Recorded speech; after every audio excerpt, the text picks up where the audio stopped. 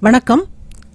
இப்போ இந்த வீடியோவில் நம்ம பார்க்க போகிறது இந்த சேனலில் இதுக்கு முந்தின வீடியோவில் நீங்கள் பார்த்த ப்ளவுஸுக்கு நம்ம ஸ்லீவ் எப்படி பண்ணுறது அப்படிங்கிறத அந்த வீடியோவில் பார்க்க போகிறோம் இப்போ இந்த ப்ளவுஸுக்கு ஷார்ட்டாக நம்ம ஸ்லீவ் பண்ணுறதா இருந்தால் எப்படி பண்ணுறது அதே சமயம் எல்போ வரைக்கும் லாங்காக நம்ம பண்ணுறதா இருந்தால் எப்படி பண்ணலாம் அப்படிங்கிறதையும் இந்த வீடியோவில் பார்க்கலாம். அதுக்கு முன்னாடி இந்த சேனலை இது வரைக்கும் சப்ஸ்கிரைப் பண்ணாதவங்க சப்ஸ்கிரைப் பண்ணுங்கள் சப்ஸ்கிரைப் பட்டனை கிளிக் பண்ணி பக்கத்தில் வர பெல் ஐக்கானையும் கிளிக் பண்ணிவிடுங்க வீடியோ அப்லோட் பண்ணும்போது உங்களுக்கு நோட்டிஃபிகேஷன் வரும். என்னோட வீடியோக்களை நீங்கள் தவறாமல் பார்க்கலாம். இப்போ ஃபர்ஸ்ட்ல லாங் ஸ்லீவ் பண்ணுறதை பற்றி பார்ப்போம். அகலம் பத்தொன்பது இன்ச் அளவுக்கு கட் பண்ணியிருக்கிறேன். உயரம் எட்டரை இன்ச் அளவுக்கு கட் பண்ணியிருக்கிறேன். மேலே அரை இன்ச் அளவு கிளாத்தை நம்ம விட்டுட்டு அதுக்கப்புறமா அரை இன்ச் கிளாத்தை அப்படியே மடித்து அந்த மடிச்சிருக்கிற பகுதி உள்பக்கம் இருக்கு பாருங்க அந்த பகுதியில் அந்த தெரியும். நம்ம கை வச்சு பார்க்கும்போது எந்த இடத்துல இந்த கிளாத் வந்து உள்பக்கமாக மடிஞ்சிருக்குது அப்படின்னு அந்த பகுதியில் அப்படியே தைச்சிருங்க. நீளத்துக்கு ஒரு மடிப்பு தைச்சாச்சு. அதுக்கப்புறமா தைக்கும்போது ரெண்டாவதாக நம்ம மடிக்கிற பகுதி மேலே நம்ம தச்சிருக்கிற அந்த லைனை மறைக்கிற மாதிரி அந்த வரணும் மடித்து கொடுக்குற பகுதி. உள்பக்கம் அந்த கிளாத் இருக்கு பாருங்கள் அந்த பகுதியில் அப்படியே தைச்சி விடுறேன். நம்ம மடிச்சிட்டு நம்ம கை வச்சு பார்க்கும்போது தெரியும். அந்த கிளாத் வந்து நமக்கு உள்பக்கம் எந்த பகுதியில் இருக்குது அப்படின்னு. அந்த பகுதியில் நேராக அப்படியே தைச்சிருங்க. ரெண்டு மடிப்பு மடித்தாச்சு மூணாவதாக மடிக்கிறேன். இதில் அஞ்சு மடிப்பு மடித்து தச்சு முடிச்சிருக்கிறேன்.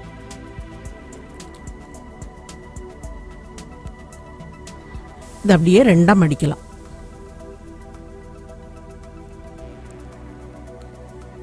ரெண்டாக மடிச்சிட்டு சென்டர்லேருந்து ஒன்னே கால் இன்ச் அளவுக்கு அடையாளப்படுத்துகிறேன் கிராஸில் ஒரு லைன் போட்டுடலாம் அந்த பகுதியில் அப்படியே கட் பண்ணி எடுக்கிறேன். இந்த மாதிரி கிராஸில் இருக்குது இது பெரிய சைஸு பீட்ஸ் எடுத்து வச்சிருக்கிறேன். கிரீன் கலர் பாலி காட்டன் கிளாத்தில் வச்சு அப்படியே கவர் பண்ணி நல்லா டைட்டாக கட்டி முடிச்சு போட்டு விட்டுருங்க.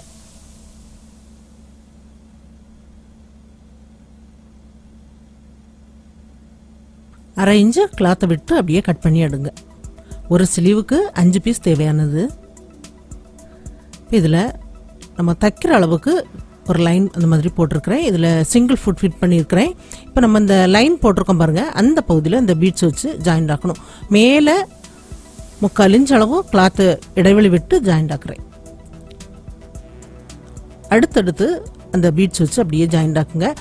நம்ம பீட்ஸ் வைக்கும்போது ஒரு விரல் வச்சு நல்லா டைட்டாக உள்பக்கம் அப்படியே அழுத்தி பிடிச்சிட்டு இன்னொரு கை வச்சு இந்த சைடில் இருக்கிற கிளாத் அப்படியே பிடிச்சிட்டு ஜாயிண்ட் ஆக்குங்க. பீட்ஸுக்கு பக்கத்தில் அந்த தையல் விழும். இதில் அஞ்சு பீட்ஸ் வச்சு ஜாயிண்ட் ஆக்கியிருக்கிறேன். இன்னொரு கிளாத் இருக்குது பாருங்கள் அந்த கிளாத்தை அந்த கிராஸில் நம்ம கட் பண்ணியிருக்கிறோம். அது அப்படியே கீழே அந்த அளவுகள் ரெண்டு கிளாத்தும் ஒரே மாதிரி இருக்கிற மாதிரி வச்சுருங்க. மேலேயும் ஒரே அளவுக்கு இருக்கிற மாதிரி வச்சுட்டு அப்படியே ஜாயிண்ட் ஆக்கலாம். இப்போ ஜாயிண்ட் ஆக்கும்போது இந்த கிளாத்து ஜாயிண்ட் ஆக்கும்போதும் அந்த சிங்கிள் ஃபுட்டில் தானே ஜாயிண்ட் ஆக்குங்க. அதே மாதிரி அந்த பீட்ஸு நல்லா டைட்டாக அந்த மாதிரி பிடிச்சிட்டு ஜாயிண்ட் ஆக்கிருங்க. இந்த கிளாத்தை எடுத்துகிட்டு இந்த உள்பக்கம் அந்த green colour cloth extra cloth எல்லாமே கட் பண்ணி எடுத்துருங்க. இந்த மாதிரி இருக்குது இப்போ இது லைனிங் கிளாத் எடுத்து வச்சுருக்கிறேன். இந்த அளவுக்கு அப்படியே இருக்குது இப்போ லைனிங் கிளாத்தை அதுக்கு மேலே அப்படி வச்சுட்டு திருப்பி வச்சு நம்ம ஜாயிண்ட் ஆக்கலாம்.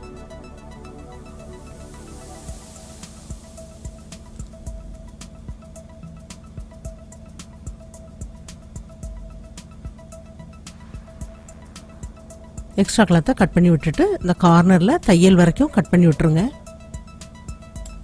இது அப்படியே திருப்பி எடுத்துடலாம்.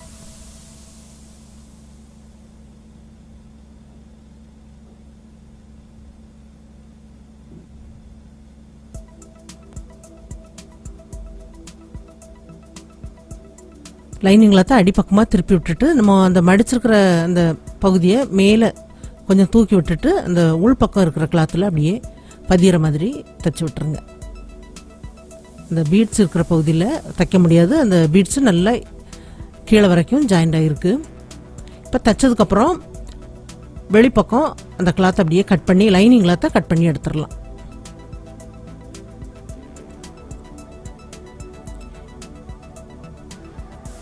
இப்போ அந்த மடிப்பு இருக்கு பாருங்க. அந்த மடிப்புக்கு வெளிப்பக்கம் ஒரு இன்ச் அளவு கிளாத்து போதுமானது. அந்த பகுதியில் ஒரு லைன் போட்டு ஜாயிண்ட் ஆக்கி விட்டுறலாம்.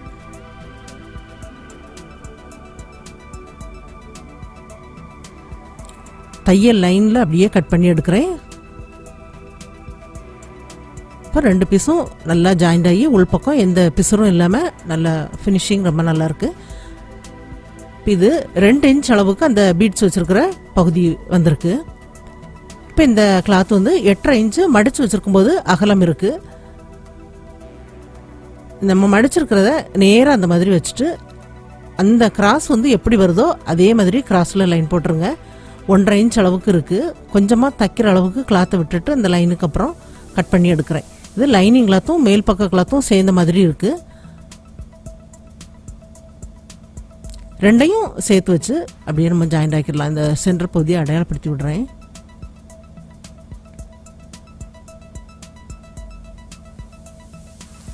சென்டரில் அந்த தையல் வரைக்கும் அப்படியே கட் பண்ணி விட்டுருங்க. லைனிங் கிளாத்தை அடிப்பக்கமாக திருப்பி எடுத்து நல்லா திருப்பி விட்டுருங்க. நல்லா கை வச்சு தேய்ச்சி விட்டுருங்க. மேலே தைக்க வேண்டாம். நம்ம ஜாயிண்ட் ஆகும்போது தைச்சா போதும்.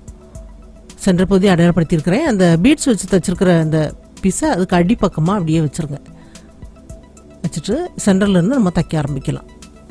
ஒரு சைடு ஜாயிண்ட் ஆக்கியாச்சு. அப்புறம் இன்னொரு சைடு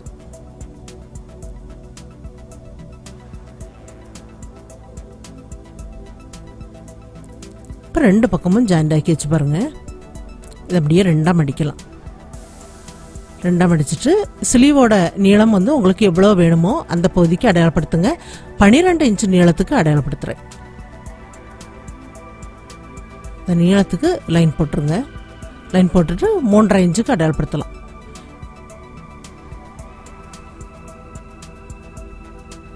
ஸ்லீவுக்கு நம்ம எப்போதும் எப்படி வரைவோமோ அதே மாதிரி வரைஞ்சு கட் பண்ணிடுங்க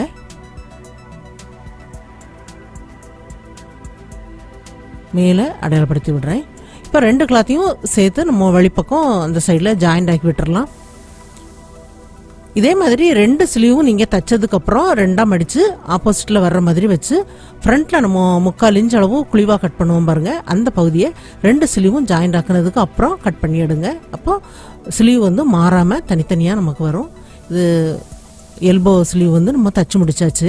இப்போ அடுத்ததாக ஷார்ட்டாக நம்ம பண்ணுறதா இருந்தால் எப்படி பண்ணலாம் அப்படின்னு பார்ப்போம்.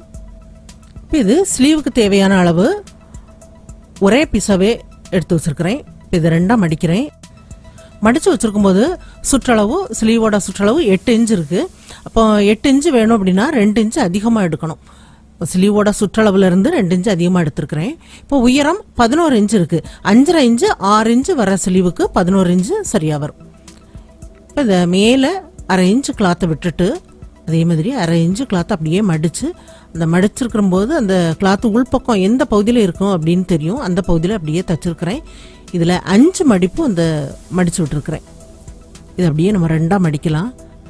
ரெண்டாக மடிச்சுட்டு மடிப்பு பாகத்துல இருந்து ரெண்டு இன்ச்சுக்கு அடையாளப்படுத்துகிறேன் நம்ம ரெண்டு இன்ச்சு அதிகமாக விட்டோம் பாருங்கள் சுற்றளவு. அந்த ரெண்டு இன்ச்சை நான் இதில் அடையாளப்படுத்துகிறேன்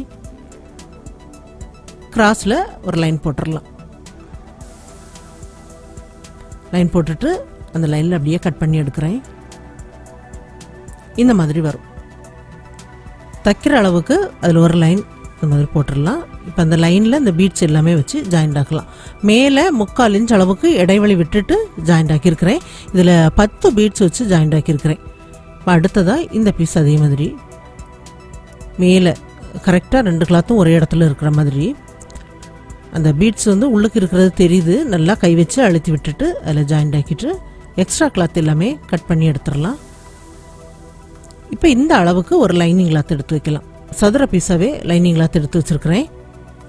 இப்போ அதுக்கு மேலே இந்த மாதிரி வைக்கலாம். வச்சுட்டு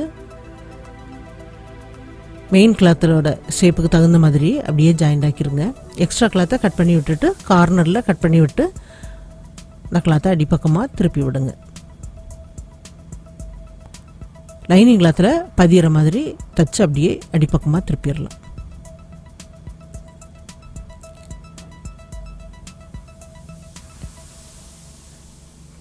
இது சதுர பீஸ் ரெண்டு பீஸ் கட் பண்ணியிருக்கிறேன். க்ரீன் கலர் மெரூன் கலர் நாலாம் அடிக்கிறேன். முக்கோண ஷேப்பில் இருக்குது ரெண்டு பீஸுமே தனித்தனியாக ஜாயிண்ட் ஆக்கி ரெண்டையும் ஒன்றுக்கு மேல் ஒன்று கொஞ்சம் மேலே அந்த பீஸ் வந்து இடைவெளி தெரிகிற மாதிரி வச்சு ஜாயிண்ட் ஆக்கியிருக்கிறேன்.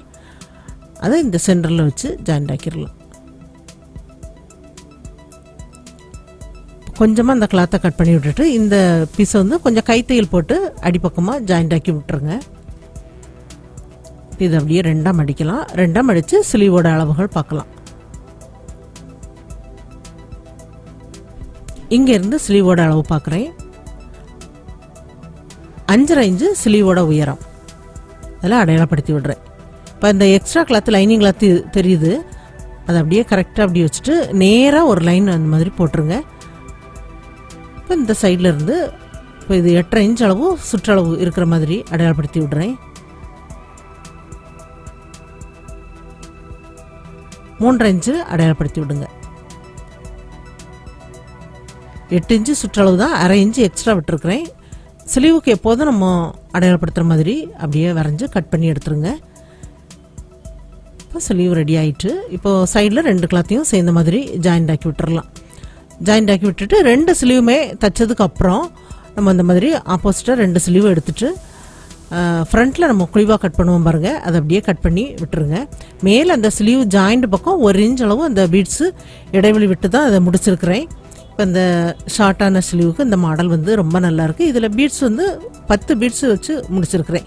மேலே வரைக்கும் அந்த பீட்ஸ் இருக்கும்போது இந்த ஸ்லீவுக்கு ரொம்ப நல்லாருக்கு இப்போ இந்த ப்ளவுஸுக்கு ஷார்ட்டாக நம்ம அந்த ஸ்லீவ் பண்ணுறதா இருந்தால் எப்படி பண்ணலாம்?